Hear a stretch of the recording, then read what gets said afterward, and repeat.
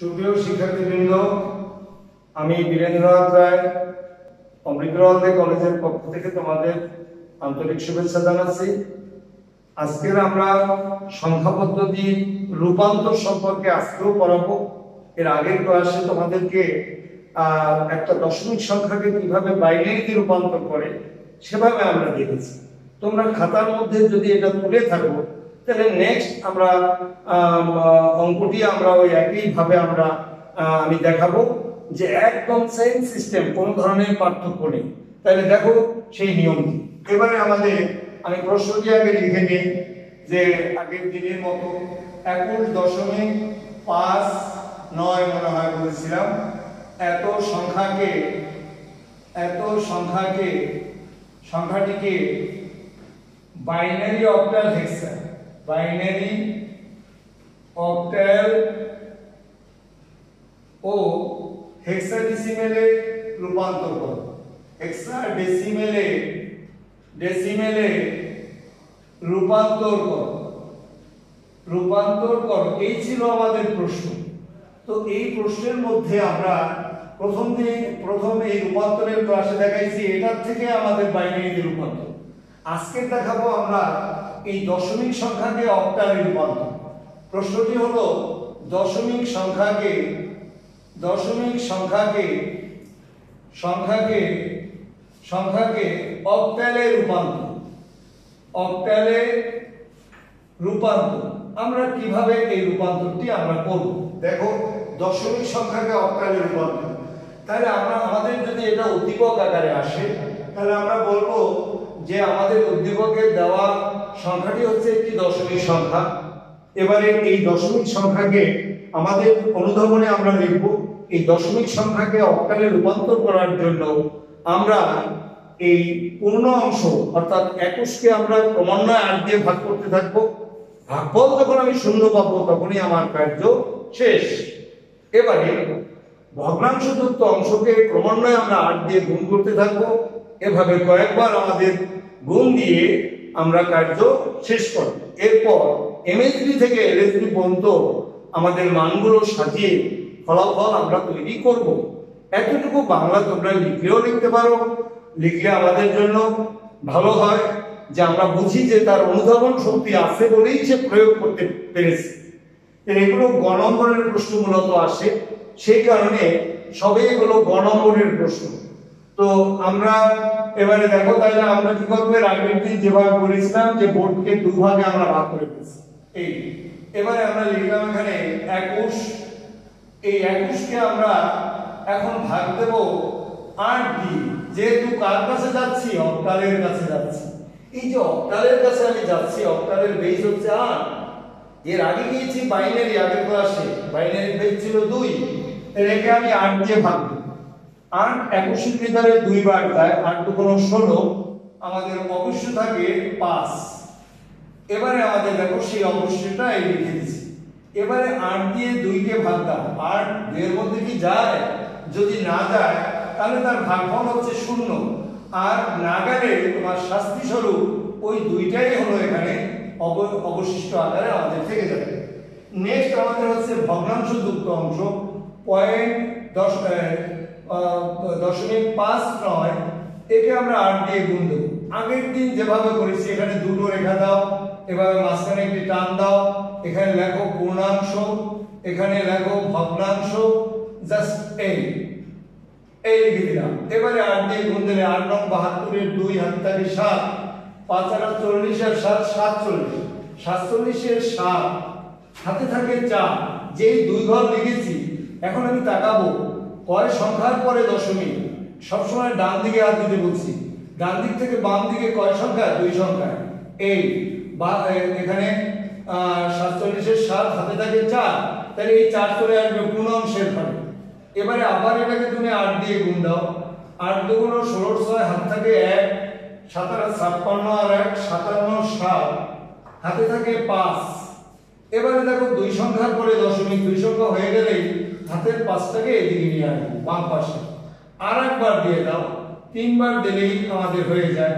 ছয়টা আটচল্লিশের আট, হাতটাকে চার সাতারা ছাপ্পান্ন আর চার সাতান্ন আটান্ন অংশের ষাট ষাটের শূন্য, হাতে থাকে ছয়। দুই ঘর যে হয়েছে, দুই ঘরের পরে দশমিক, শূন্য, হাতে থাকে ছয়। এই আমরা আমরা লিখে দিলাম, তাহলে এইটার নাম হলো, এখানে এটার নাম হলো এলএসবি এখানে এটার নাম হলো এমএসবি আর এখানে এটার নাম হলো এমএসবি এটার নাম হলো আমাদের এলএসবি তাহলে আমরা শিখেছি যে যদি পরীক্ষায় এক অংশ আসে, এই অংশটি কোন অংশটি আসে, আমরা লিখব এখানে মান দুই পাঁচ। তাইলে আমরা অত কিছু দরকার নেই, আমরা এখন দুটো অংশ যেহেতু লিখেছি দুইটা অংশের রেজাল্ট একসাথে ঘোষণা করব। সুতরাং অক্টাল মান অক্টাল মান হচ্ছে আমাদের এই যে এমএসবি থেকে এলএসবি তাহলে দুই পাঁচ দুই পাশের পরে একটা রেডিক্স পয়েন্ট দিতে হবে। এবারে দিয়ে চার, পাঁচ, ছয়। চার, পাঁচ, ছয়। এবারে কয়েকটা ডট ডট দিয়ে এর পেজ নম্বর দিয়ে দেবো। কত? লাস্ট আট। এই আট দিয়ে দেবো, যেখানে যাব। এ হলো আমাদের দশমিক থেকে অক্টাল রূপান্তর। এবারে আমরা সাথে সাথে তৃতীয় অঙ্কটিও দেখাবো। দেখো কত সহজ। এবারে হলো এই সংখ্যাটাকে এই সংখ্যাটাকে আমরা এখন নেব হেক্সাডেসিমেল তাহলে আমরা হেক্সাডেসিমেলে যদি নেই হেক্সাডেসিমেল হেক্সাডেসিমেলে নেব।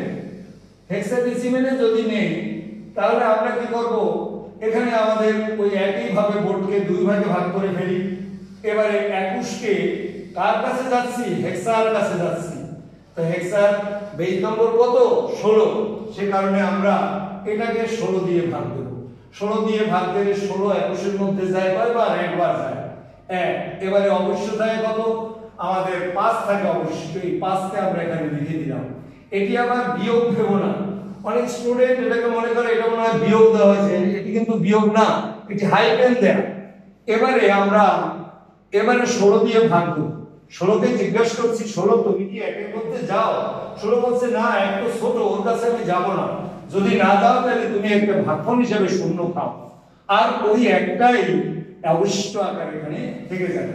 তাহলে এটার নাম হলো আমাদের এনএসবি এটার নাম হলো আমাদের এমএসবি নেক্সট আমাদের হচ্ছে ভগ্নাংশ যুক্ত অংশ।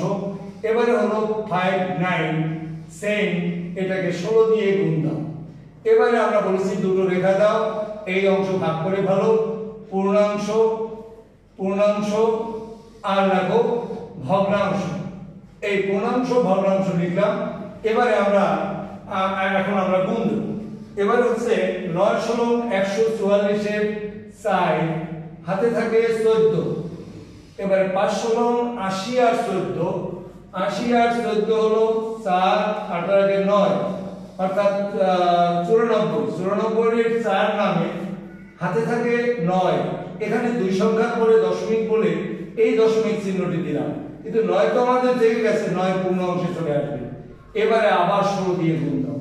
ষোলো দিয়ে গুণ দিলে চার ষোলো চৌষট্টির চার হাত থাকে ছয়।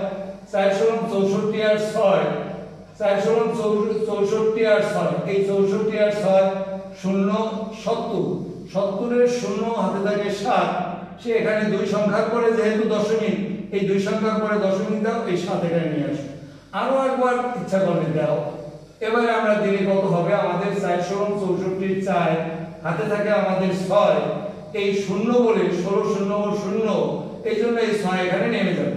কয় সংখ্যার পরে দশমিক হলো দুই সংখ্যার পরে এখানে কিছু নেই বলে এখানে আমাদের একটি শূন্য বসে গেল। তাহলে এটার নাম হলো আমাদের এমএসবি এটার নাম হলো আমাদের এলএসবি তাহলে আমরা শিখেছি যে এমএসবি থেকে এলএসবি পর্যন্ত মানগুলো সাজিয়ে আমরা ফলাফল তৈরি করব। তাহলে আমাদের হচ্ছে এবারে হলো হেক্সাডেসিমেল হেক্সাডেসিমেল সংখ্যা।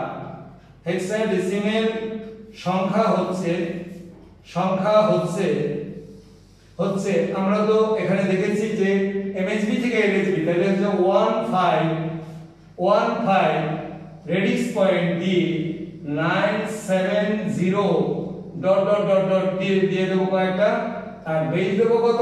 লাস্ট বেজ হচ্ছে আমাদের 16 তাহলে এটি হচ্ছে আমাদের হেক্সাডেসিমেল সংখ্যা। সুতরাং দেখছ, দেখা, দেখো তোমরা যে আমরা এই একটা দশমিক সংখ্যাকে বাইনারিতে যে প্রক্রিয়ায় নিয়েছি অক্টালকে সেই একই প্রক্রিয়া হেক্সাডেসিমেলকেও সেই একই প্রক্রিয়া নিয়েছি। শুধুমাত্র একটা বেই দিয়ে আমরা এখানে আলাদা করেছি। এবারে যদি মনে করো আমাদের এখানে এই একটু সমস্যা হতে পারে হেক্সাডেসিমেলের ক্ষেত্রে। হেক্সাডেসিমেলের ক্ষেত্রে মনে করো এমন দেওয়া আছে যে এখানে একুশ দেওয়া নেই, এখানে দেয়া আছে মনে করো, এখানে একুশ দেওয়া না, এখানে দেওয়া আছে মনে করো তোমার একুশ উনত্রিশ হ্যাঁ। এখানে মনে করো একুশ, উনত্রিশ দেওয়া আছে মনে করো, ষোলো, সাত, তিন, নয় হ্যাঁ।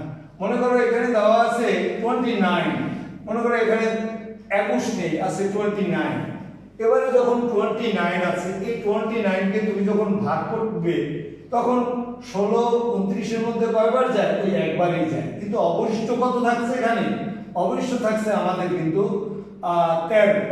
এই যে তেরো, তাহলে হেক্সাডেসিমেল ডেসিমেলের মৌলিক অঙ্ক আমি শিখেছিলাম হেক্সাডেসিমেলের মৌলিক অঙ্ক হচ্ছে জিরো থেকে নয় A B C D E F এর মান দশ বি এর মান এগারো সি এর মান বারো ডি এর মান তেরো ই এর মান চোদ্দ এফ এর মান পনেরো। তো আমি দেখলাম তেরো। তাহলে তেরোতে কত হবে? এতে যদি দশ হয়, আঙ্গুলের উপরে হাত দাও।